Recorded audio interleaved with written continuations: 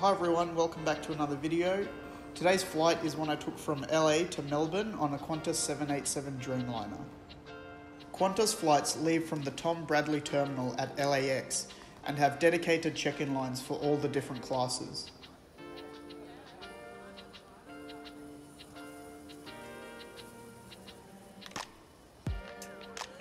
Qantas Club members can use the Premium Economy queue, while other status members can use either the business or first line depending on their tier.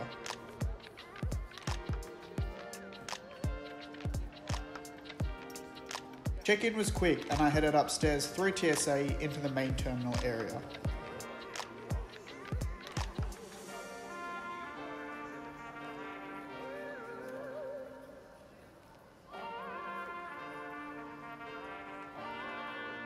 Qantas shares a business lounge at LAX with fellow Oneworld members at BA and Cathay Pacific.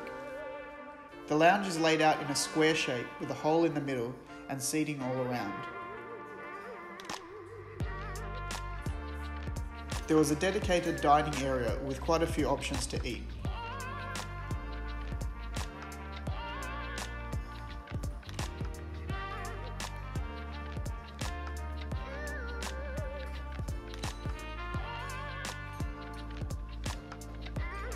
The LAX Business Lounge also has an attended bar where you can order from a wide range of drinks.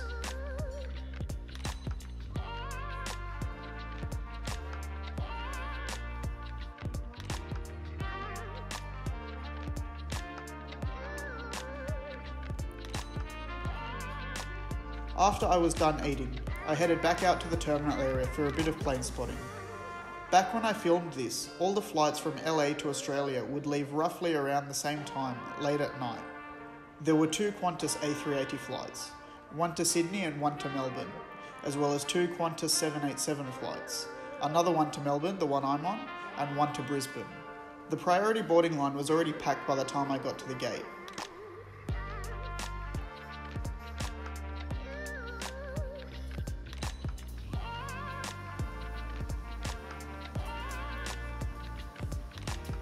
Business class on the Qantas 787 is split up into two cabins. A larger front cabin with 8 rows and a smaller rear cabin with just 3 rows.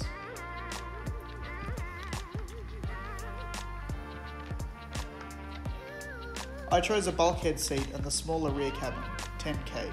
Qantas's 787s feature their business suite product, similar to what's found on the A330 and vastly improved over the A380 Skybed 2C.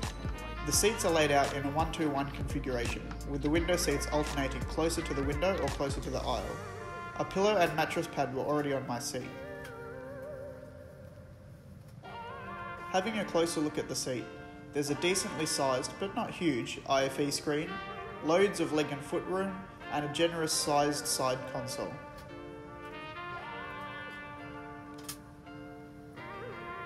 The side console has seat controls, power outlets, and there were also noise cancelling headphones, a bottle of water, and an amenity kit ready to go.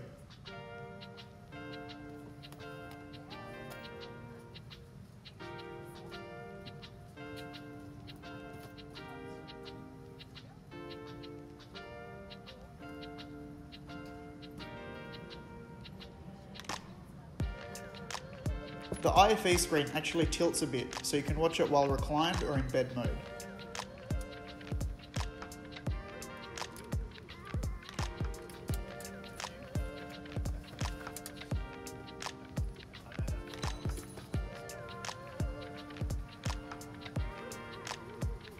Let's have a look at what's on the menu for tonight's flight.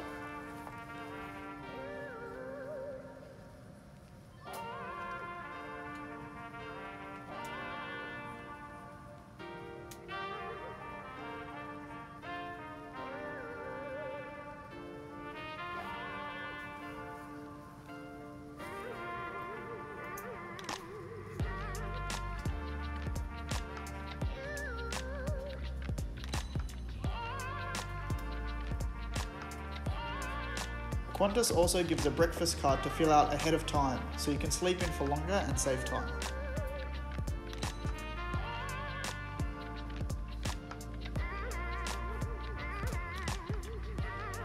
The side console also has a remote for the IFE screen and a table that pops out.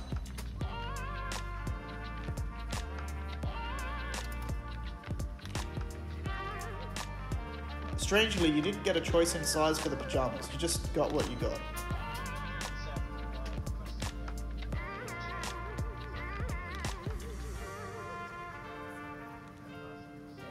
The Qantas IFE has plenty of options to keep you busy for a 16 hour flight, with movies, TV shows, music, games, and more.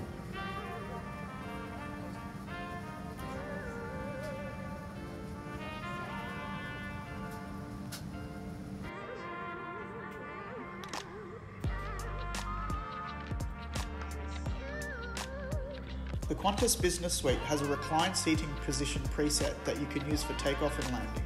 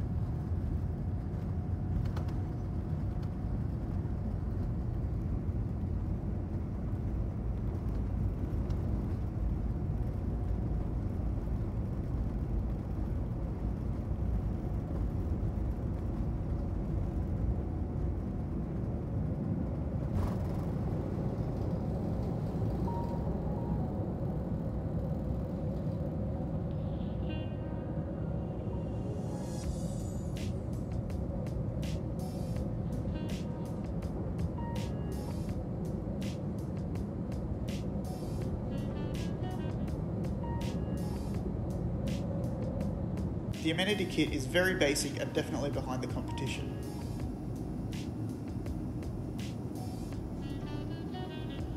Now for my favourite part about Qantas the food. It started with solid unspreadable butter.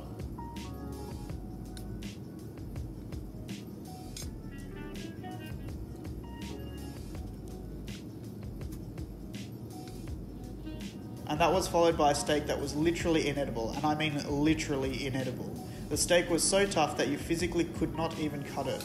This poor cow died for nothing. After waiting a very long time after pressing the call button, the crew offered me a replacement steak, which I took, but it was just as bad. Truly the worst attempt at food I've had on a plane.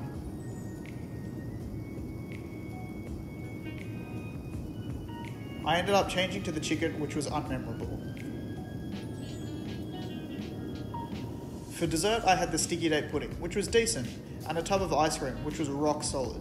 The meal service was pretty disappointing. There was no appetizer or post takeoff drink. It started with the bread and just went straight into the main meal.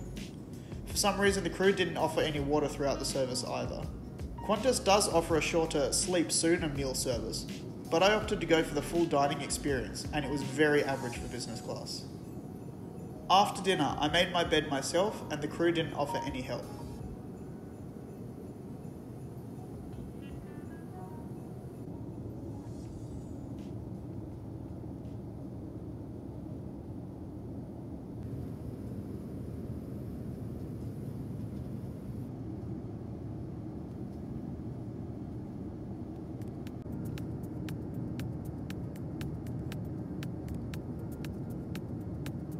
I woke up a few hours later and had a pulled pork panini snack, which was okay.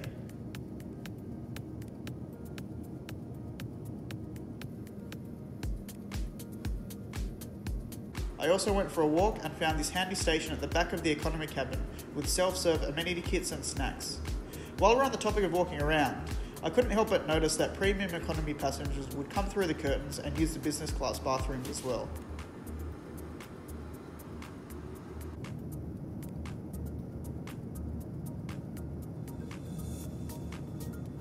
My breakfast order was brought around and served somewhat hurriedly, as you can see by the unfolded tablecloth.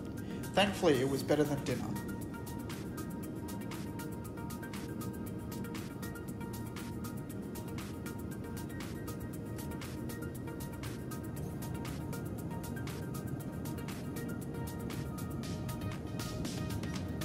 Before landing, the crew came around with a hot towel. Strangely, there was no hot towel offered after takeoff, and that pretty much sums up the entire experience. Although the crew members were genuine and friendly, the service itself lacked attention to detail right across the board. Some might argue that those finer details are what separates first class from business class. But when other airlines are nailing those details in business class, it just goes to show that Qantas is average at best.